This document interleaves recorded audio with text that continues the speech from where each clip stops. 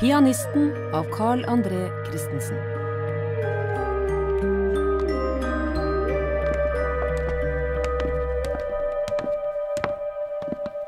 Stort mer spennende konsert enn dette får du aldri oppleve. Det lover jeg deg. Men jeg kan ikke.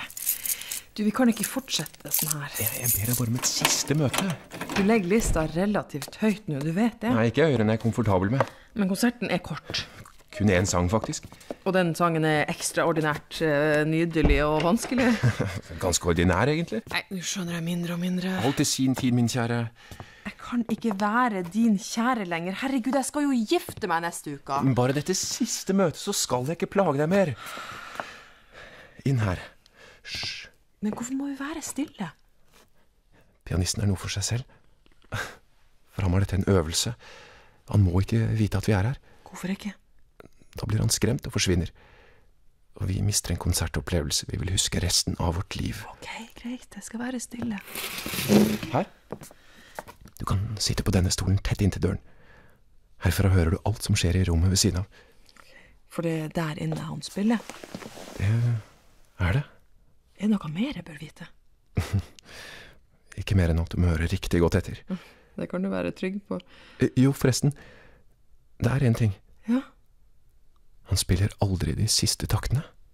Han har aldri gjort det. Han slutter å spille rett før stykket er ferdig.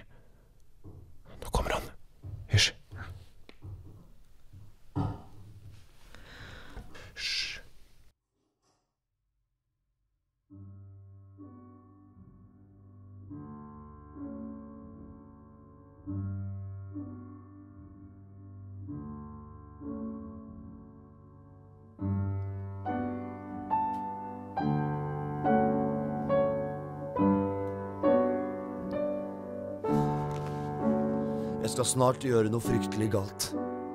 Men samtidig det eneste riktige.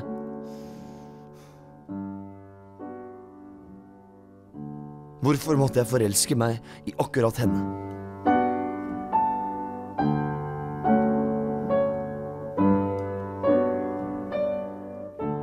Det hadde vært så utrolig mye enklere. Med hvem som helst andre, bare ikke henne. Takk for at du stiller opp. Du er en sann venn. Jo takk, jeg er meg en fin venn som forelsker meg i min beste venns forlovede.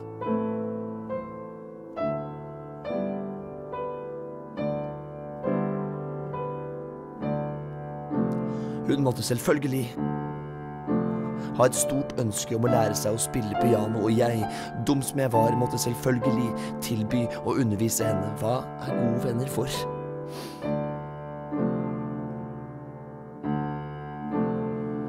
Hun lærte fort.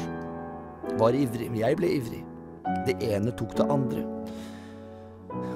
Vi behøvde ikke å si noe. Vi visste det, og vi visste det var galt. Så vi bestemte oss for å øve inn en sang til bryllupet deres.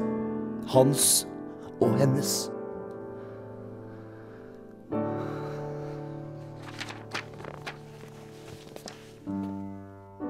Det var strengt tatt kanskje mest jeg som bestemte det.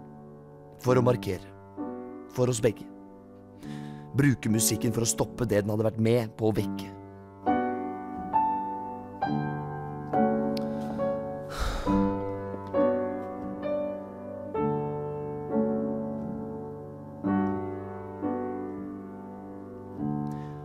Jeg er stolt.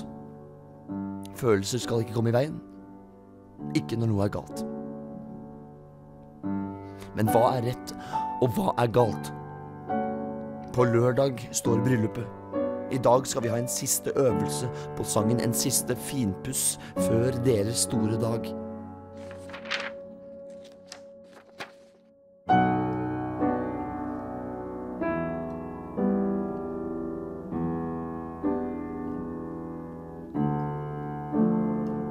Jeg klarer ikke å la være lenger. Jeg må gjøre noe. Vi elsker hverandre, og vi vet det. At hun gifter seg med ham, er den absolutte galskap.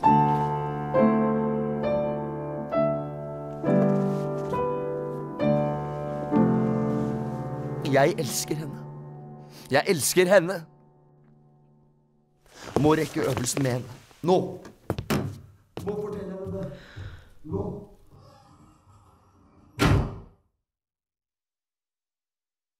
Har han gått? Han eh, gikk. Kan vi gå inn i rommet? Vær så god, gå inn. Tomt. Ja. Men det er jo bare et stort rom med et nedstøva flygel i. Ikke ei anna dør engang. Men vi hørte han sprang ut gjennom ei dør, gjorde vi ikke? Det er ikke godt å si. Nei, det her blir rarere og rarere. Jeg hørte jo tydelig. Men hørte du hva han sa? Skjønte du hva han skulle? Ja, selvfølgelig hørte jeg, skjønte det. Jeg håper inderlig han kom seg til og fikk sagt det han skulle. Jeg tror dessverre ikke han gjorde det. Hva mener du? Avtalen han skulle rekke, er ikke i dag. Den var for nesten 50 år siden. Da som nå stormet han ut av huset for å rekke avtalen og for å si de viktige ordene. Hva mener du for 50 år siden? Den... Han løp ut på veien, han glemte å se seg for. Trikken klarte aldri å stoppe. Han døde momentant. Han satt jo nettopp her og spilte. Etter det har han gjentatt øvelsen du overvar hver andre torsdag i måneden. Hvert år. Her i dette rommet. Mener du at At, han Ja, Han rakk aldri møtet? nei, Og de fikk aldri en god slutt? nei.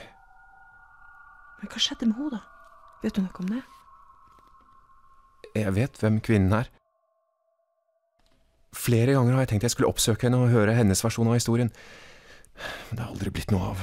Nei vel. Men så i begynnelsen av denne uken leste jeg i avisen at hun hadde gått bort. Gått bort nå? Ja, hun døde forrige uke.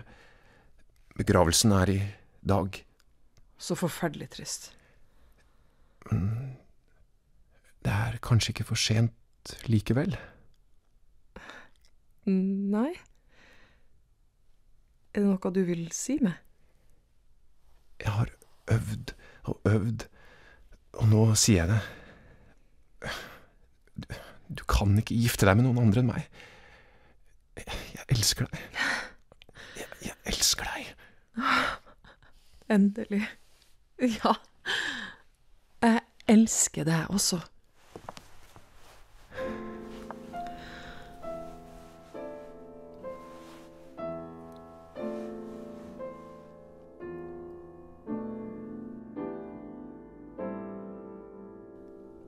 Var det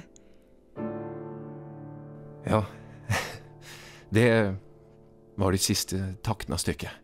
Kanskje han endelig kom seg til henne og fikk sagt det han skulle?